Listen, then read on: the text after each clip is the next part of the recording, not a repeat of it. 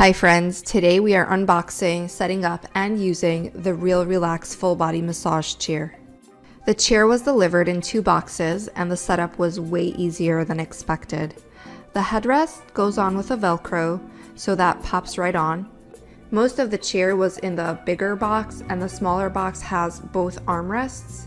They pop on pretty easily and then you can also tighten them with screws. Over here, I hopped on in to help my husband as you need to apply a little bit of pressure when attaching the armrests. Here we have the LCD screen, which again, you just pop it in.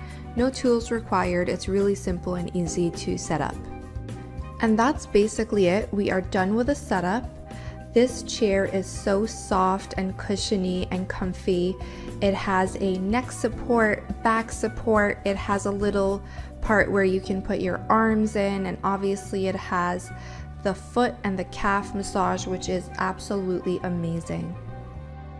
I was fortunate enough to have my husband do the setup, but anyone can set up this chair. It is so easy. Most of the parts just pop right in. So I would say 10 over 10 for the setup.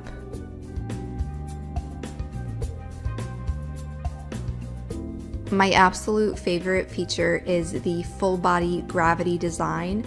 Oh my gosh, it feels like you are just floating and the massage is so relaxing and it definitely relieves any pain, tension, or muscle tightness.